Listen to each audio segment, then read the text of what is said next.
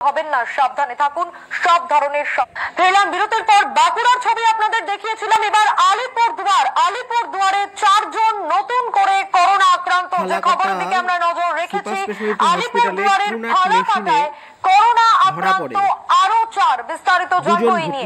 আমাদের সঙ্গে টেলিফোন লাইনে। রয়েছেন আমাদের প্রতিনিধি পিনাকি চক্রবর্তী। পিনাকি আলিপুর দুয়ারে নতুন করে করোনা আক্রান্ত হ্যাঁ সোনিয়া, নতুন করে আরও চারজন করোনা আক্রান্তের হদিশ মিলেছে। ফালাকাটা সুপার স্পেশালিটি হাসপাতালে যে ট্রুনাট মেশিন বসানো হয়েছে, সেখানেই কিন্তু এই রিপোর্ট আসে আজ খুব সকালে।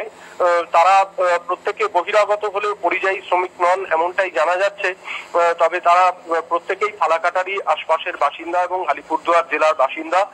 তাদেরকে ইতিমধ্যেই ফালাকাটা সুপার স্পেশালিটি হাসপাতালে সরকারি কোয়ারেন্টাইন সেন্টার থেকে নিয়ে আসা হয়েছে এবং তাদেরকে ওই শিলিগুড়ির একটি বেসরকারি নার্সিংহোম যেখানে করোনা চিকিৎসার জন্য যেটিকে নির্দিষ্ট করা হয়েছে, সেখানে খুব দ্রুত পাঠানোর কিন্তু একটা তোড়জোড় শুরু করেছেন স্বাস্থ্য দপ্তরের আধিকারিকরা।